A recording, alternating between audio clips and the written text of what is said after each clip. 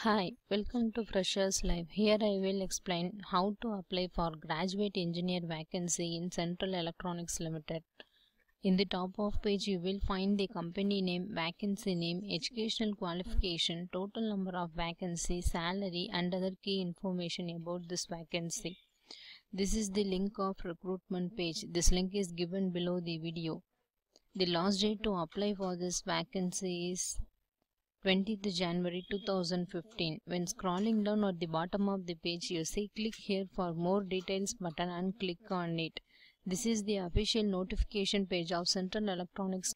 Central Electronics Limited invites applications from talented professionals for the post of graduate engineer vacancies on contract basis. Here the name of post, educational qualification, number of vacancy and their salary details are given. Candidates read it carefully before you apply for this vacancy. Selected candidates have all these facilities like basic pay, dearness allowance, HRA and transport allowance. Selection process is based on GATE 2014 marks and requirement. Candidates will be shortlisted at first stage. Candidates have to pay rupees 250 for application fees in the form of DD drawn in favor of this address.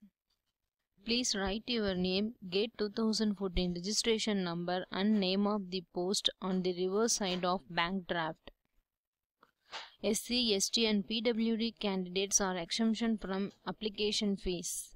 SC, ST and OBC candidates have age relaxation under their category. Eligible engineers may send their application with one passport size photograph and copies of documents to this address.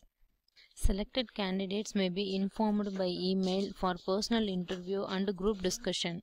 This is the application format of Central Electronics Limited. First, candidates have to write the name of post and affix a recent passport size photograph with the attestation. Please write your full name in capital letters, then Write your personal details like father's name, sex, communication address with the correct email ID and contact number. Please fill your correct date of birth, age, nationality, marital status and category, whether you belongs to general, SC, ST or OBC. The educational qualification and the experience gained should be clearly filled in these tables. Finally, candidates read the declaration part and sign in signature column. I hope this video is helpful for you. Thanks for watching this video. Thank you.